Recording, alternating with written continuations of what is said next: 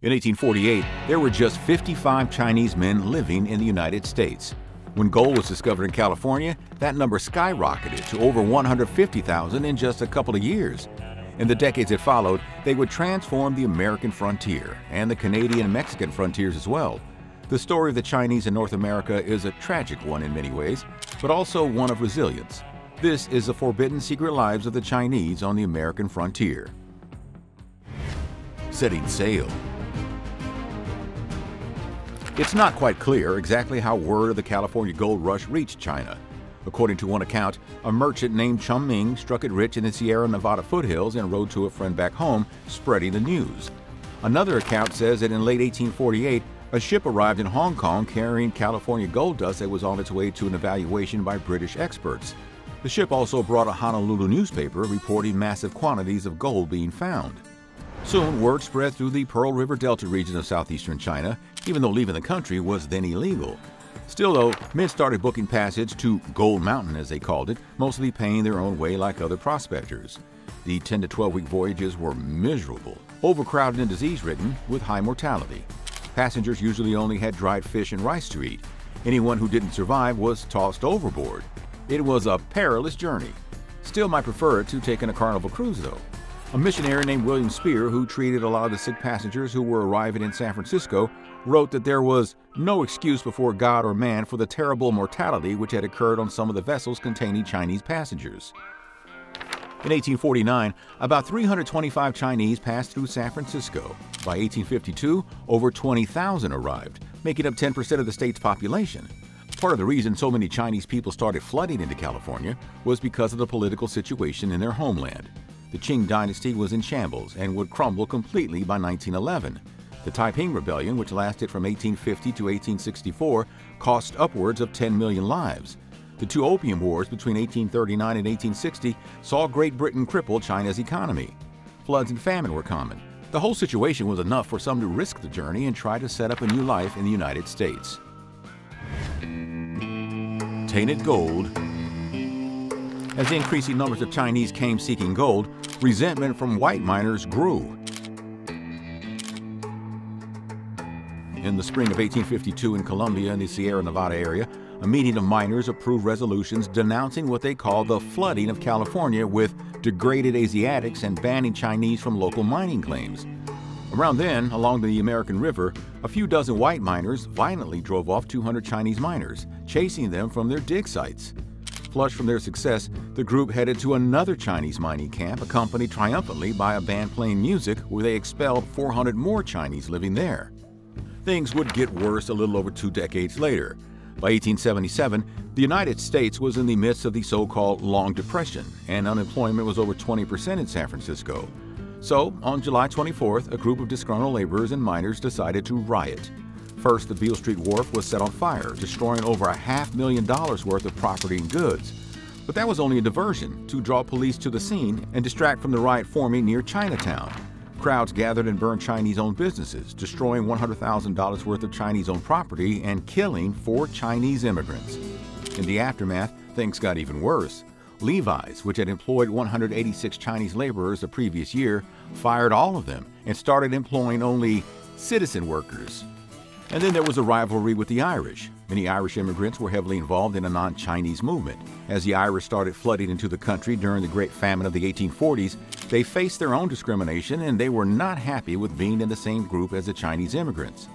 One of the first official examples of this was the Foreign Miners Tax of 1850, which taxed all foreign miners $20 a month to mine for gold and grouped the Chinese and Irish together. It was also common to see signs in cities that read Irish need not apply. The ultimate slap in the face came in 1882 when President Chester A. Arthur signed the Chinese Exclusion Act. The act made it illegal for Chinese to immigrate to the U.S. for 10 years, with special exceptions for some residents, specialized workers, and diplomats. It also made it impossible for Chinese to get citizenship. The laws would remain on the books for the next 60 years. Tong Wars Like many conflicts throughout history, the Tong Wars were kind of started over a woman, or for the gangs of Chinatowns across the country, the lack of women. By the late 1800s, there were far more male Chinese immigrants than females. A big reason why was the Page Law of 1875. It was one of the earliest legislative efforts aimed specifically at limiting the immigration of Chinese women. Officially titled the Act to Prohibit the Coming of Chinese Laborers to the United States, it was basically designed to keep women from coming into the country for immoral purposes. Some of the most powerful tongs were in San Francisco. You had the Hop Sing Tong, the Sui Sing Tong, the Hip Sing Tong, the Bing Kong Tong, the Four Brothers Tong, the Sam Yup Company Tong, and the On Leong Tong, among others. To complicate things, people could be members of multiple tongs at once. So if a member of one tong stole a member of another tong's girl, the members of a third or fourth tong could be dragged into the resulting violence and you'd have a three or four tong war on your hands. The tong members were slinking around on rooftops. People were getting off in theaters for allegedly stealing a rival member's seat. In New York City, there were two guys vying for supremacy and the supremacy of the respective tongs. Mock Duck, the leader of the Hip Sing Tong, and Tom Lee, the head of the On Leong Tong. Mock Duck was notorious for a bad temper and a flamboyant personality. He often paraded around Chinatown with his entourage of bodyguards wearing chainmail under his clothes to protect himself from assassination attempts. Tom Lee was a bit more strategic. He wielded his power through connections with New York politicians and law enforcement, eventually earning him a reputation as the unofficial mayor of Chinatown. His influence extended beyond the criminal underworld, allowing the On Leong Tong to basically operate with impunity. The warfare between the Hip Sing and the On Leong Tongs was intense. There were assassination attempts and street battles that often involved so-called hatchet men or high binders. These were hired assassins known for their devastating use of hatchets. These conflicts could sometimes be about personal vendettas. The violence got so bad that it ended up spilling over into the rest of the city and was finally cracked down on towards the end of the 1800s. One of San Francisco Chinatown's original gangsters was a guy named Little Pete. Little Pete became enormously wealthy and one of the most famous figures in all of Chinatown by the 1880s and 90s. Now, Little Pete had a fierce rivalry with another major Chinatown gang leader named Big Jim, who wanted Little Pete dead. This rivalry led to 33 year old Little Pete's demise in 1897. His funeral was a Chinatown extravaganza, basically similar to a state dignitary's funeral, a black horse-drawn hearse carried Pete's casket through Chinatown streets, followed by dozens of carriages. Colorful silk banners with Chinese characters declared Pete's community status and achievements and waved alongside the procession route. The ceremony included offerings of food, candles, and incense burning according to Chinese tradition to usher in good fortune in the afterlife. The rites reflected a mingling of Chinese spiritual customs with a show of Pete's prominence as a Chinese American crime boss. In the aftermath, Tong wars raged on for years following Pete's death as others vied to claim his lucrative criminal empire and control in the San Francisco underworld. But none matched the mix of reverence, fear, and awe Chinatown had for its original gangster legend, Little Pete. Nefarious activity. One way for Chinese immigrants to bypass the Exclusion Act of 1882 was to be a merchant or a performer, so many gangsters like Little Pete started having fake papers drawn up for women and often girls to be brought over claiming they were actors or acrobats or singers and things like that. Little Pete brought hundreds of women into the country in this way for San Francisco's Midwinter Fair of 1884. But these women didn't perform at the fair, they performed elsewhere. The fate of these women was tragic.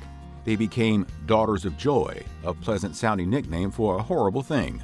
Concubine women were rampant throughout the Chinatowns across the frontier, and particularly in San Francisco. When 24 Chinese women entered the port of San Francisco, papers said they were merchant wives and daughters. The New York Times scoffed, writing, They are, however, nothing of the sort. The Chinese slave trade is a growing business.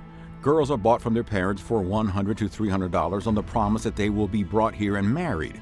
On their arrival, they pass through the habeas corpus mill and are disposed of for $1,500 or $2,000 and placed in disreputable houses. Concubine girls who didn't speak English were told horror stories about abusive conditions if they tried to find help from Christian rescue missions. In truth, the missions couldn't really provide much protection anyway, since escaped girls risked being caught and forced into being concubines once again by Chinese gangs or anti Chinese mobs looking for work. Just attending church could be dangerous. If a girl ran away, concubine ringleaders would use corrupt lawyers and police to block her escape and send her back to the brothels. Some had contracts taken out against them for trying to get help. Any rescue efforts were dashed by the fact that these brothels often changed locations and had deep pockets to pay bribes. Even powerful Chinese civic groups trying to help would be abruptly shut down by those in the business.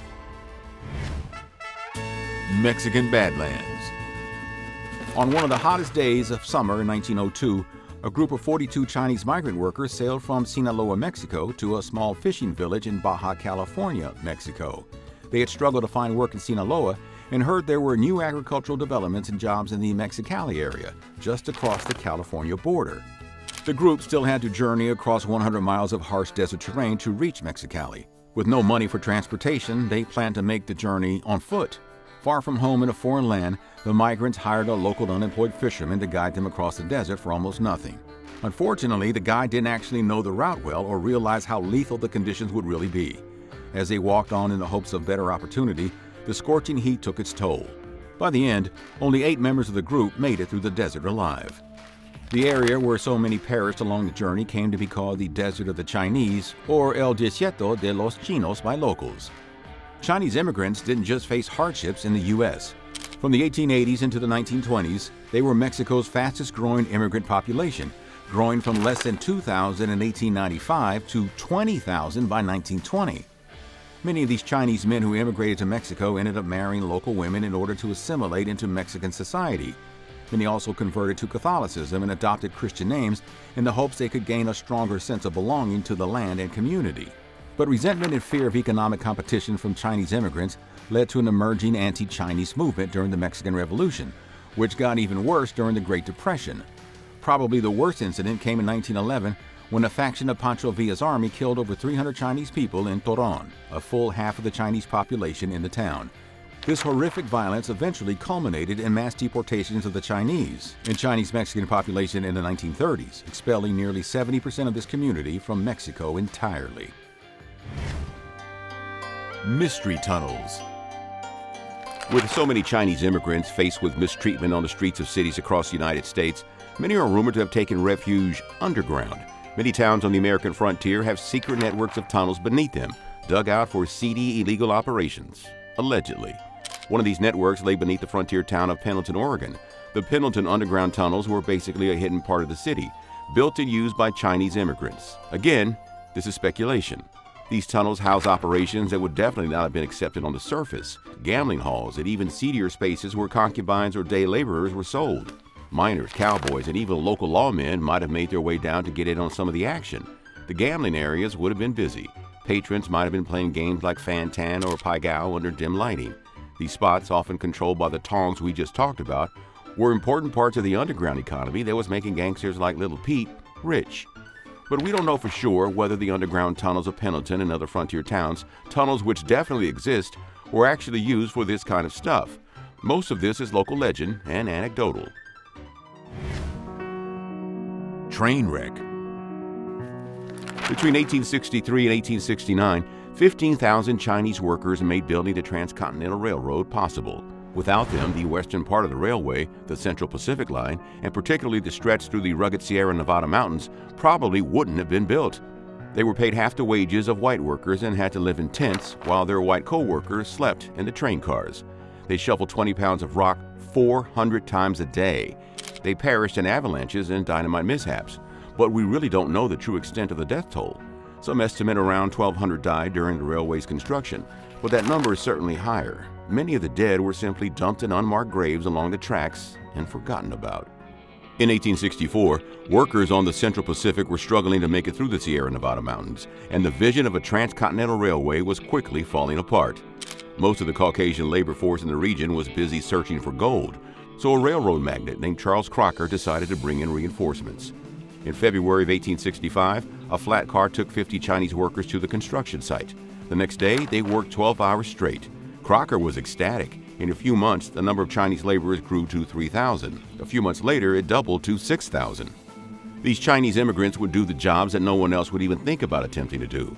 They hung from ropes dangling from the edges of cliffs. They blasted tunnels with nitroglycerin, an explosive liquid that no one else would touch. They seemingly had boundless courage and boundless energy. Now, a big reason for the energy part was their diet. While many of these white workers ate stale meat and drank whiskey, these Chinese immigrants were dining on oysters and cuttlefish shipped in from San Francisco. They ate rice, they ate vegetables, sometimes grown in little gardens along the way, and they drank lots of tea instead of lots of whiskey. By 1869, 90% of the laborers working on the railway were Chinese, and on April 27th of that year, they laid 10 miles of new track in just one day. a record at the time. Tragically, we don't know who these workers were. They've been lost to history. At the official ceremony celebrating the connection of the two lines in Promontory, Utah, they were left completely out of the cameras as they recorded the wealthy railroad tycoons driving in the last spike. The Citrus Wizard. Well, we do know who one of them was at least. He survived the perilous railway work and went on to become one of the main reasons Americans today are able to eat oranges all year long. Louis Gim Gong was born in 1860 in the Guangdong province of China and immigrated to the U.S. when he was 12. First, he worked in a shoe factory in Massachusetts, where he suffered the long hours and harsh conditions typical of most immigrants at the time. Looking for something better, Louis moved to the frontier and joined up with the thousands of Chinese immigrants who were building the Transcontinental Railroad. Despite all the dangers of the railway work, Louis survived. After his stint on the railroad, he moved to Florida in the 1880s and entered the world of agriculture, working for a wealthy horticulturist named Fannie Law. Under Law's mentorship, Louis got really into plant breeding, and specifically citrus fruits, which were becoming big business in Florida at the time. He eventually became known as the Citrus Wizard. Louis Gim Gong developed a frost-resistant variety of orange that could thrive in the cooler climates of Central Florida. It extended the growing season and had a huge impact on the state's citrus industry. The variety, which became known as the Louis Gim Gong orange, was a hybrid between a Mediterranean sweet orange and a tangerine. Louis also successfully developed a seedless grapefruit and a bunch of other fruit varieties. Canadian Railway Things didn't get much easier for the 6,500 Chinese immigrants who ventured north to work on the Canadian Pacific Railway in the 1880s. It's estimated that one worker died for each mile of track that was laid through the mountains between Calgary and Vancouver. Just like in the United States, these Chinese workers were paid half of what their white counterparts were making. At a dollar a day, they still had to put some of that money towards their own food and drink, while provisions for the Caucasian workers were included in their wages. And just like in Promontory, Utah, the Chinese workers were cleared from view at the last spike ceremony in Craigellachie, British Columbia, so photographers could get a picture without them. And just like in the United States, Canadian legislators started cracking down hard on Chinese immigration. In 1900, Canada doubled the entry fee for Chinese immigrants from $50 to $100.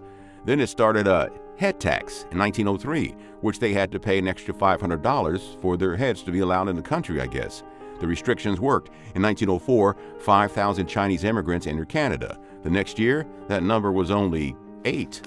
Then in 1907, a riot broke out outside Vancouver City Hall. 30,000 people showed up for a rally against Chinese immigration, a full half of the entire city's population. Many of them were wearing ribbons that prompted for a non-Asian Canada. Over the next three days, Vancouver's Chinatown was ransacked and Chinese homes and businesses destroyed. Then, just like in the U.S., Canada passed its own version of the Chinese Exclusion Act. In 1923, all Chinese immigration was banned, and it would stay that way for the next 25 years. Chinese and Native Americans As more Chinese immigrants flocked to the frontier, they inevitably came into contact with Native Americans. Sometimes these interactions went well, but other times they went horribly wrong. At first, there seemed to be some mutual fascination and curiosity between the two groups, who wondered if they shared common ancestral ties. There's a documented case of a miner named Wang Ying who, when first seeing a Native American, wondered if they shared a similar ethnic background. And there actually have been studies supporting a genetic link between East Asians and Native Americans. After all, the people who populated the Americas came from the Asian continent, either via the Bering Land Bridge or by coast hopping in small boats. Economic interactions between Chinese and Native Americans went down in both cooperative and competitive ways. They worked together fishing and in canneries, but also competed for jobs like laundry work and hop picking, and sometimes this competition could lead to violence. One account describes there was also illegal trade.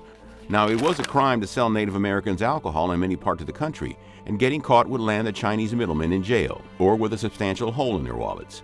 There was also a whole lot of deception and violence. Native Americans extorted miners' taxes from Chinese miners and sometimes kidnapped or robbed them. Not to be out extorted, Chinese miners often paid Native Americans with fake gold.